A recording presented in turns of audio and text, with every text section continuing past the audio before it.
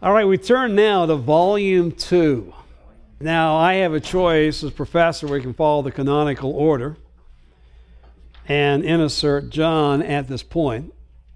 But um, because of the neglect that uh, the book of Acts has suffered over the history of the church, and, uh, and because of its canonical location, that uh, to this day most believers don't see the connection between the gospel and the book of Acts, that uh, I made a decision, well, 23 years ago when I started teaching this course, that uh, we would go right from Luke into Acts. Now, as far as the history of interpretation, Acts was read now, that's not really a, a major generation in the church where, uh, uh, where Acts was not known. But as I've already stated, as far as being studied and preached, um, Acts fell by the wayside. As we have seen, even the Gospel of Luke uh, really was third in influence after Matthew and John because Luke was not an apostle. So all we can say for 1900 years of church history is, well, at least Luke, for the first uh, approximately 1700 years of that time, was uh, read and studied more than Mark. But even that has flipped in uh, the last couple hundred years. But as I said, after World War II, there's been a resurgence. And about the last 70 years, the last generation of interest in Luke and the book of Acts because of its uh, vital role that it plays in the New Testament. And uh, so you can read a work like uh, Gasque's work, A History of the Interpretation of Acts of the Apostles, and you're going to find that uh, a lot of his discussion is uh, what has taken place over about the last 150 years, and particularly what's taken place over the last uh, 70 years. So we might put it this way Acts is ignored no more. Now, it was always viewed as giving a historical foundation, historical basis, particularly for what was in the rest of the New Testament. Uh, but now, more and more study of Acts in its own right. Acts as a standalone book. And I've already said the two great reasons for that were the modern missionary movement and the modern uh, Pentecostal slash charismatic movements that have m- made much of what is in Acts, which has forced exegetes to go back and, and read closely what is in the book of, of Acts. And I'm not so sure that as we get into our discussion uh, brief as it is of Acts that uh, we might uh, we, we, we, we might question some of the stereotypes that you've heard about Acts uh, in the past. Now, certainly, whoever wrote the Gospel of Luke wrote the book of Acts. And as we've seen, that there are really only two viable candidates out of the Pauline missionary team, and uh, that was Luke and Titus.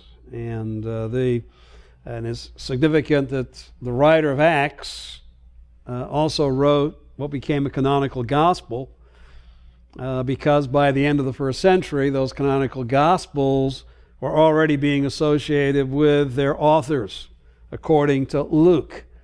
Uh, so we we know basically because of the gospel and the church tradition about the gospel who the author of the book of Acts was. And again, the reader, once again, is Theophilus, a representative of Gentile Christians. And this is written probably, most probably, about four years after the, uh, the Gospel of Luke. So we will assume that Luke wrote the Gospel while he was in Palestine. Uh, Acts chapter uh, 21 went with uh, uh, Paul to Jerusalem. And uh, while Paul is arrested, taken to Caesarea, spent two years in prison there. Uh, during that time is when he completed his researches and uh, wrote the, uh, the Gospel of Luke. But significantly, even the gospel itself was not enough in and of itself to answer all the questions that Theophilus had. Uh, would answer a, a, a good number in uh, certainly showing that God's plan in sending Jesus as Israel's Messiah also was that the message might go to the Gentiles as well. It was uh, not only a light to Israel, but also a light to the nations, this salvation. That uh, this, was, uh, this was a message that was for all peoples with whom God was well pleased. And even the, that's at the very beginning in Luke chapter 2, but even in Luke chapter 24, that uh, Jesus has commissioned the, uh, the disciples beginning in Jerusalem to take uh, this message of forgiveness to all nations. And uh, so, definitely, we have in 2447 that repentance for forgiveness of sins should be proclaimed in His name to all nations, beginning from Jerusalem. That is Jesus' mandate, that is Jesus' commission to his apostles uh, that we see in the culmination of Luke. Now, a further question arises from Luke chapter 24. All right, so Jesus commissioned his apostles to take the message of forgiveness to the Gentiles. Did they? And in doing so, did that message continue to be the same message of salvation that Jesus had proclaimed to Israel while he was here with his incarnate ministry upon the earth. Uh, all right, so Luke, you've given me assurance that, that this was Jesus' plan and purpose, that this message of salvation come to me. But is that message that Jesus' commissioned to come to me, has it at all changed in that time period from Jesus to me? And so, uniquely, because of Luke's purpose, he had a further question to answer that obviously the other gospel writers didn't have to answer. So it wasn't Matthew, it wasn't Mark, it wasn't John. Uh, their gospels, if we can put it that way, uh, put it this way, were self-contained. Now Luke's was self-contained as far as it went, but it still doesn't answer the ultimate issue because if Theophilus has to respond to Judaizers, the Judaizers themselves said they were disciples of Christ that they acclaim Jesus as Messiah. They acclaim Jesus as Savior. And in fact, they had no problem with the fact that Gentiles were to receive salvation. But they didn't think that that salvation of Gentiles was complete until the Gentiles were circumcised and kept the law. Acts chapter 15. And uh, this is the, uh, the reason, I believe, why uh, Luke, uh, certainly in chapter 11, after Peter was sent by the Holy Spirit to the house of Cornelius, and then asked to answer for what historically took place, narrated chapter 10, in the first 18 verses of Acts chapter 11 that when he shared how the Spirit had led him and the response of the Gentiles in Cornelius' house to the message, when they heard all this, 1118, they quieted down and glorified God, saying, Well, then, God has granted to Gentiles also the repentance that leads to life.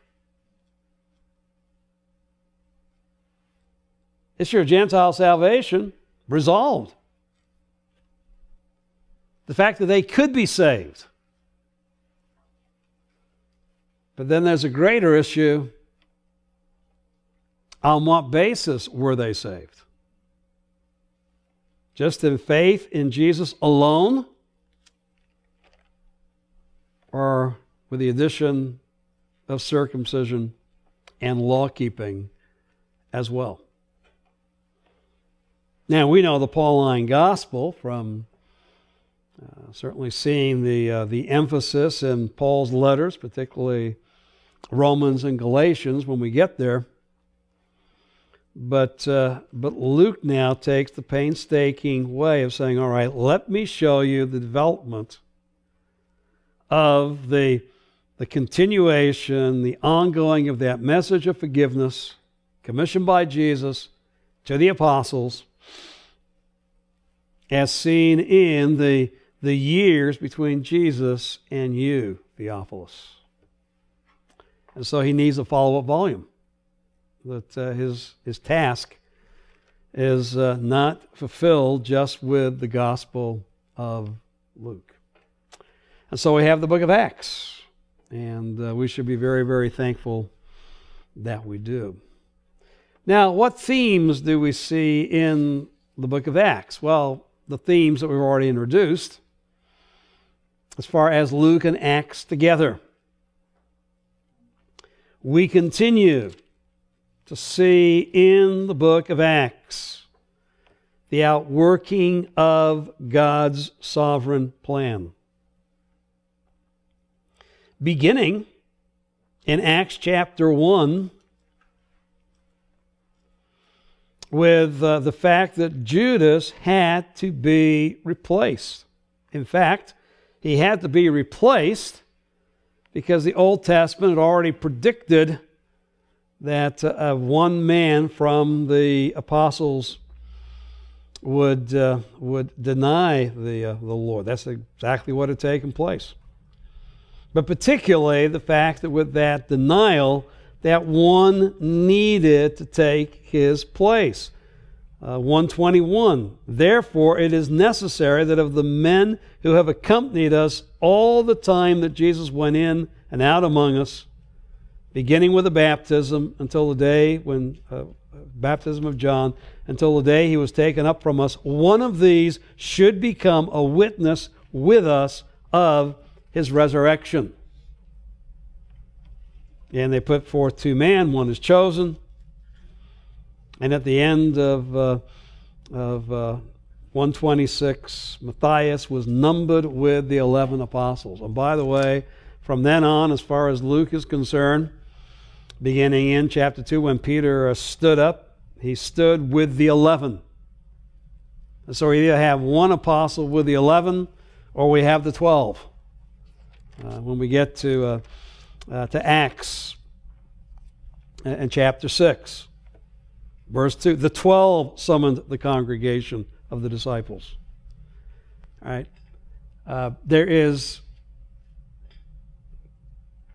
as Luke speaks, he, he speaks of this group in Jerusalem as uh, the 11 plus 1 or the 12 the end of Acts 1, it's the 11 plus Matthias. Chapter 2, it's the 11 plus Peter. And uh, chapter 6, it's the 12. And that's the way he refers to this group uh, the rest of the time through the book of, of Acts. So, as far as he is concerned, there were 12, 12 apostles in Jerusalem. And of course, there's going to be a further apostle, but that is, uh, is not one of these 12. It is going to be a man in additional to the 12. And take a look at chapter 9, because once again, we have the outworking of God's sovereign plan. This is where the Lord is speaking to Ananias. Ananias, um, arise, go to the street called Straight, verse 11. Inquire at the house of Judas for a man from Tarsus named Saul, for behold, he's praying, and he has seen in a vision a man named Ananias come in, lay his hands on him, so he might regain his sight. So Ananias, you get the you get the joy of looking up, Saul of Tarsus, and uh, going and laying hands on him so that he might receive his sight. And Ananias answered, Lord, I've heard from many about this man. I don't see this as a gracious act on your part, Lord. How much harm he did to your saints in Jerusalem. And here he has authority from the chief priest and all who call upon your name. Uh, Lord, I don't know if you know exactly who this man is. I have received the reports. We, we've heard from Jerusalem. We know that what this man is all about. We know why he's come to Damascus. He's, he's come to, well, he's, he's come to bind all who call upon your name. And you're asking me to go to the street, find out the house where he is, Hi, Saul. I'm a believer. I know why you're here. All right. Here's my hands. Bind me. Take me back to Jerusalem. Now, I know you've never told the Lord anything like that in your prayers. Um, Lord, you really don't know what you're talking about. But uh, Ananias very subtly gives the Lord information. But verse 15 the Lord said to him, Go for he is a chosen vessel of mine to bear my name before the Gentiles and kings and sons of Israel. For I will show him how much he must suffer for my sake. So notice in verse 15 clearly, he's a chosen vessel. God's choice, God's plan and it is necessary for him to suffer. And so his ministry, and even the suffering associated with that ministry, is God's sovereign plan and purpose. So in verses 15 and, and 16, we see the same emphasis of God's sovereign plan in the life of Paul, by the way, that uh, echoes what Peter said on the day of Pentecost concerning Jesus. Acts 2:23. This man delivered up by the predetermined plan and knowledge of God. In the same way that God chose Jesus for his task he has chosen Paul for his task as well. And uh, this is going to be the first echo of many uh, where Paul, uh, of all individuals in the book of Acts, echoes what we see in the life and ministry of, of Jesus. Now, as you go through the book of Acts, not only do you see the outworking of God's sovereign plan, I've just given you a couple of, of illustrations of that, examples of that. But throughout the, uh, the gospel, we see an emphasis upon the preaching of the word. Beginning in chapter 2 with Peter's message on the day of Pentecost, all the way to Acts chapter 28 and Paul's message to the Jews in Rome. In fact, the preached word in the book of Acts is a word given for the purpose of bringing unbelievers to faith. That, that really is the, the proclamation that is seen in Acts. And therefore, all of the messages center around the death and resurrection and exaltation of Jesus. And of those three particulars, the one that is most emphasized again and again and again is the resurrection of Jesus.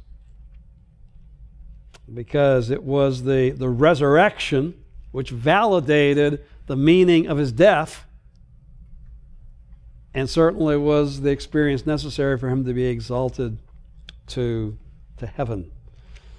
And, uh, and so, uh, particularly as, as you go through the book of Acts, there is the, the particular emphasis upon his resurrection.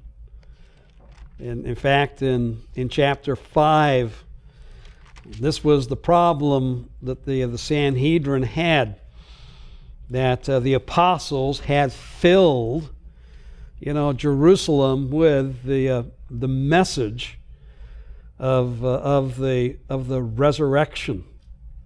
And uh, uh so, uh, so that's why they were, they were upset. They were, they were angry. And uh, so, the particular emphasis upon the fact that Jesus has been resurrected. Third of all, as you go through the book of Acts, you see an emphasis upon the rejection of Jesus as Messiah by Israel. It uh, begins in Acts chapter 7. It begins at the stoning of Stephen. that uh, they refuse to, to listen to his, to his message. And uh, by the time he gets to the conclusion of his message in Acts chapter 7, they either have to uh, repent or they have to put Stephen to death. Notice in verse 51 you men who are stiff necked and uncircumcised in heart and ears are always resisting the Holy Spirit. You are doing just as your fathers did. When he's done, verse 54 Now, when they heard this, they were cut to the quick, and they were gnashing their teeth at him. Uh, by the time Stephen is done, there's either going to be great revival or great persecution. They're either going to respond in repentance or they're going to respond with attack.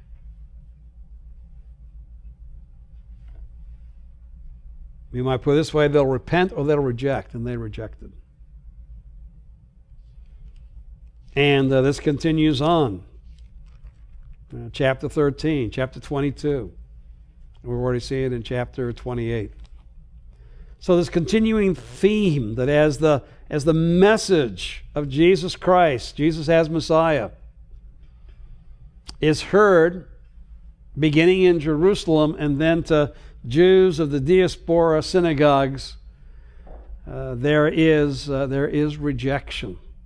In fact, the only Jewish synagogue that has a positive response is in Acts 17 at Berea. Every other synagogue, culminating with the Jews in Rome. Now, Paul was under house arrest. He couldn't go to their synagogues, they had to come to him. But outside of Berea, always rejection and persecution of Paul. He must suffer many things. Yet, not only does the book of Acts emphasize rejection by Israel, but conversely, it, uh, it emphasizes the acceptance of Jesus by the, by the Gentiles. Now, the book of Acts is, is not every Jew rejected and every Gentile repented. But uh, certainly the thrust is the majority of Israel rejected, and in contrast, a significant number of Gentiles responded with repentance. So that uh, certainly, that by the time you get to the end of, of, book, of the book of Acts, we might put it this way the, the response to the gospel had become predominantly a Gentile thing. And the resulting church was Gentile. Now, certainly a theme, though not the purpose, is the establishment of the church through the ministry of the apostles. Now, early on in the book of Acts, uh, uh, Luke does not refer to this new phenomenon as, as a, a church. Uh, he refers to it obviously as, as a, a oneness of believers, a unity of, uh, of individuals.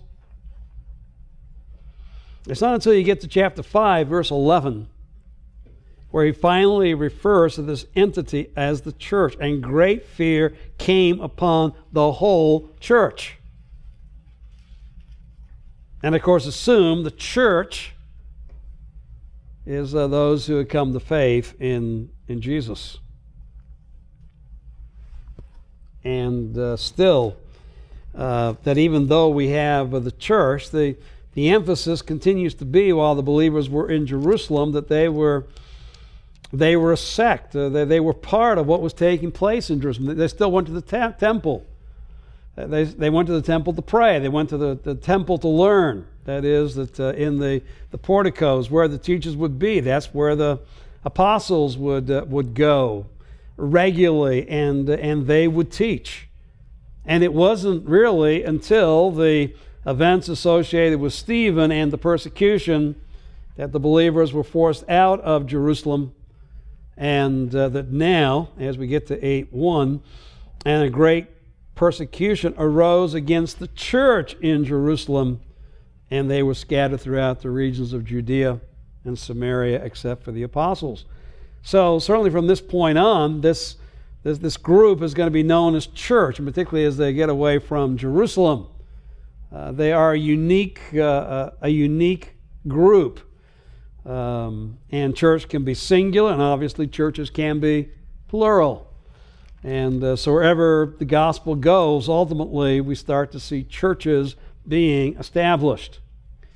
But, um, and this was predominance in the church tradition that Acts really, its ultimate purpose is the establishment of the church and the growth of the church. Uh, but we have to say that, uh, you know, uh, you know, Luke gets a long way into his narrative before he really starts to talk about the church. And as you go through the narrative, doesn't talk that much about churches. So it's more that uh, the church is the result of what is seen in the book of Acts and not so much the purpose of the book of Acts. Also, an emphasis upon the ministry of the Holy Spirit, but this continues on as we've already seen from the Gospel of Luke. And at least twice, lengthy narratives, chapter 11, where we're already referred to, and again in chapter 15, the famous Jerusalem Council. But lengthy controversy about this whole matter of Gentile salvation. Can the Gentiles be saved? Chapter 11, yes. On what basis are the Gentiles saved? Chapter 15. Tremendous emphasis upon prayer and the obedience of God's people. This ties once again into the sovereign plan and purpose of God. The believers were obedience.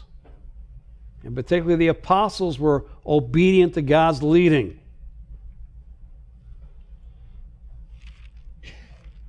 But Luke doesn't want us as Gentiles to think that God is through with Israel. In chapter 3, he makes it very, very clear that God will fulfill the promises he has made to Israel through the prophets of the Old Testament.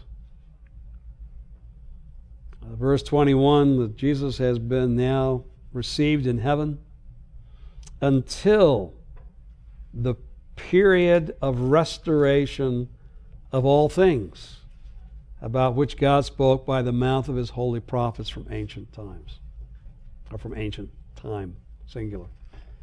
So um, there is an anticipation still that God is not through with, with Israel. Now, let me, uh, before we do the purpose, let's uh, move on into literary structure. And, uh, and then we'll come back and, and uh, see the, uh, the purpose of the book of, of Acts. Certainly, as you go through the book of Acts, before you get to the outline, I've given you a couple of uh, charts. As you go through the book of Acts, you should, as you read, say, I've read something like this before. And uh, you can see that uh, with all of uh, these narrative features, that uh, there is a, a narrative given in uh, the first 12 chapters, and uh, then we find out that as we go through, that uh, some of these are, well, all that I've listed here are echoed when we get into the end of chapter 12 and on through the rest of the book. Uh, for instance, uh, in both cases, uh, the events in chapter 1, the events in chapter 12 inaugurate in Jerusalem. Uh, there's also assembled prayer, believers assembling together and, uh, and uh, coming to know the will of, of God there is a manifestation of the Holy Spirit, which leads to apostolic preaching. We'll come back to this with a tremendous correspondence between what Peter preaches in chapter 2 and what Paul preaches in chapter 13. Even, uh, e- even going back and, and uh, picking some of the same Old Testament texts that are emphasized chapter 3, and then chapter 14. A healing of a lame man who's been lame from his mother's womb. And both texts emphasize that fact. Lifelong lame man. By the way, uh, that is healed in both cases by fixing their gaze upon the instrument God uses to heal them. Look at me. Followed by a speech that begins, Men, why? Why are you amazed? Why are you wondering at what takes place? And after leading to the persecution of the apostles involved. What God is doing brings dissension among the believers. We have a mission to the Gentiles. Significantly, in chapter 10, beginning with a vision where a man says, Come, and where a Gentile company is ready, and where one ultimately has to go and defend what he has done in Jerusalem. Now, though Paul's ministry does not begin in the same way, it is interesting that, um, well, Peter has been ministering for a while. We've seen how the Lord has used him. And then this particular event to go to Cornelius' house. Same thing, Paul has been called, Paul has been ministering. And then uniquely, he sees a vision in chapter 16 with a man from Macedonia saying, Come. With the establishment of a Gentile company, and ultimately, this is part of Paul's ministry that he has to go and defend in Jerusalem in chapter 21. Uh, significantly, the, uh, the instrument of taking the message of Gentiles is imprisoned. And both times in Jerusalem, though Peter is miraculously released, and uh, Paul just gets sent to Caesarea and ultimately to Rome. By the way, God also sovereignly de- determines whether you get out of prison or whether you stay a prisoner, according to the book of Acts. And through it all, the success of the word. That uh, nothing could stop the ongoing of the word of God. That at the end of the book, the messenger might be in prison, but the message was not. And even the imprisonment in chapter 12 cannot stop the word of the Lord continuing to grow and to be multiplied in 1224. By the way, this becomes therefore very, very important. The emphasis is not so much upon the men as it is upon the message. It is the message that is going forth, the message that is uh, not being hindered, even if the men are. So, uh, so that's, I've heard this before. Then you start to look at the major components of these comparisons, and you start to recognize that, all right, most of the events we're talking about, most of the messages we're talking about in the first 12 chapters focus on Peter. And then beginning in chapter 13, they focus upon Paul. Both are filled with the Spirit. Both have a message to the men of Israel. Both heal a lame man. Both raise a dead person. Both confront a magician. Both can heal uh, without physically touching. Both have prison chains loosed. Both have a trance while praying, a vision of the Lord while praying. Both have visions which leads to preaching. Both are addressed by angels. Both have three significant evangelistic messages recorded in the book. Distinction Peter has two to Israel and one to Gentiles. Paul has one to Israel and two to Gentiles. Why are chapter 2 and chapter 13 so very, very vital and important? Because essentially Peter and Paul preach the same message. It's the same message of how Jesus is shown based upon the Old Testament to be the Messiah and how the Messiah has died and been raised.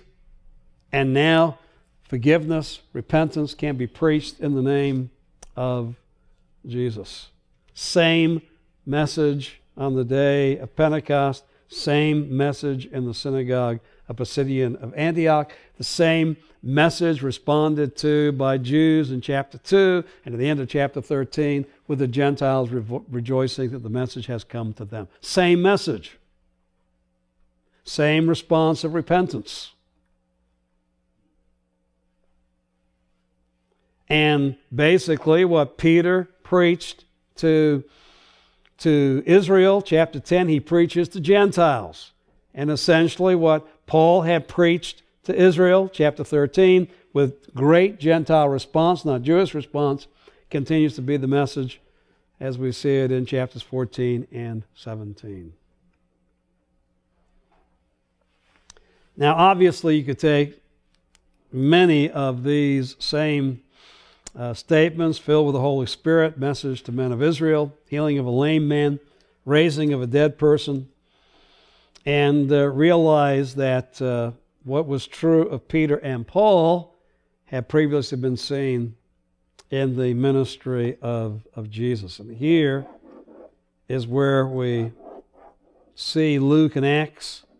Luke is about Jesus and what Jesus did and uh, what Jesus spoke. And when we get to the book of Acts, we have Peter and we have Paul, and they did and they spoke.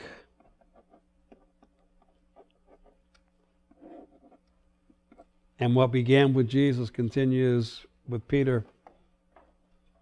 And what Peter did and what Peter spoke, I'm sorry, not Spike, spoke, Paul does as well. And what Luke is clearly showing is, is that, all right, what Theophilus had heard through Paul is exactly what Israel had heard through Jesus and then through Peter. And so, as we conclude for today, all right, what was the purpose of the book of Acts?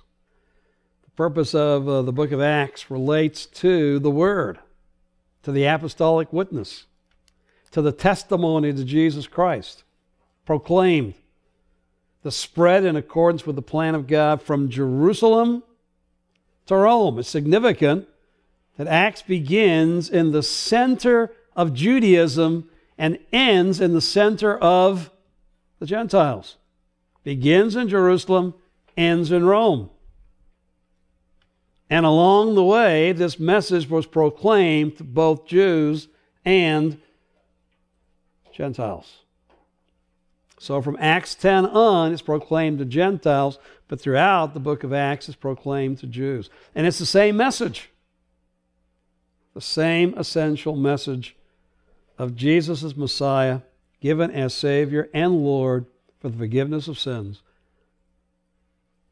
in response to faith and repentance, is the same message that is seen throughout the book of Acts. That, we might put it this way, the hero of the book of Acts, the, the, the, the human hero is the proclaimed message. It's not the messenger, it's the message. And of course, that message comes from God. That message is about Jesus Christ. That message is enabled and empowered by the Holy Spirit to accomplish God's plan and God's purpose.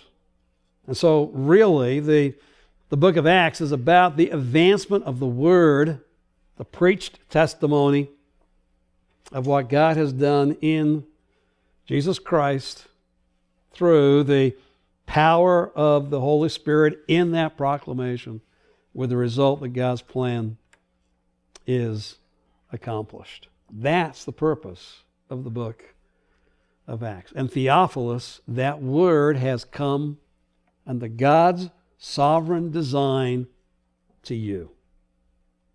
And by the enablement of the Holy Spirit, you have responded And now Christ is your Savior and your Lord. And that's your assurance of forgiveness of sins and salvation. It's not what you do, it's what you believe God did through Jesus Christ. And um, historically, Luke has uh, given a historical record that, as we said previously, undergirds, therefore, the theology that we're going to see in the Pauline letters and the rest of the letters of the New Testament as well. But uh, Luke is writing more than mere history. He is writing a theological history which undergirds the theology of the rest of the New Testament.